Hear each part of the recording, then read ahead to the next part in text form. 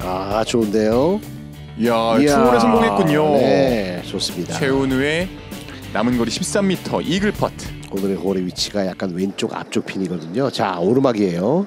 오르막 오른쪽입니다. 생각보다는 좀 오르막 경사가 있습니다.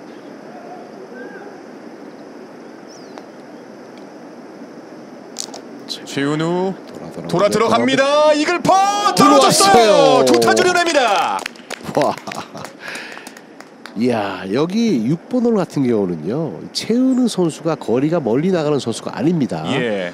이 선수가 저 위치에서 이글 퍼트를 했다는 거는 들어 6번 홀 티샷 그리고 세컨샷 세컨샷이 어, two on 공략에 나섰고요. 네, 약간 지나서 저 위치 오늘 많이 네. 갈 거고요. 저 위치에서는 그렇게 어렵지 않은 오르막 어프로치입니다. 음, 자 이게 이제 한라산 쪽으로 가는 어프로치예요. 네. 자 올라갑니다.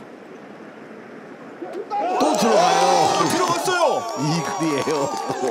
이미정 이 홀에서 지금 이글이 나왔습니다. 두 개 이글이에요. 아까 예. 최은우 선수가 그린 위에서 이글, 밖에서 이글. 오늘의 허리치도 굉장히 편합니다. 1, 2라운드 완전 달라지고 앞쪽으로 나와 있거든요. 단숨에 두 타 줄이면서 이미정이 7 언더파로 올라섭니다. 이것도 들어가요. 아, 청소이도 7 언더파. 어, 저 버디 4개째예요.